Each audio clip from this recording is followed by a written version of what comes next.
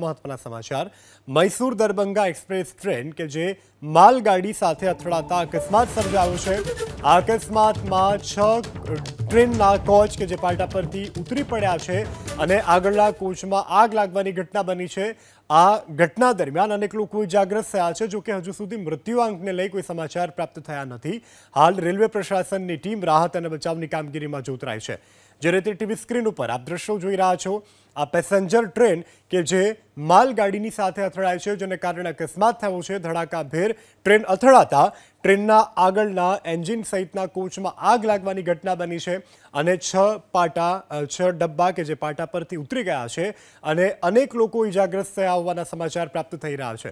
જો કે હજુ સુધી મૃત્યુને લઈ કોઈ સમાચાર પ્રાપ્ત થયા નથી. રેલવે પ્રશાસન રાહતના અને બચાવના કામગીરીમાં જોતરાયું છે.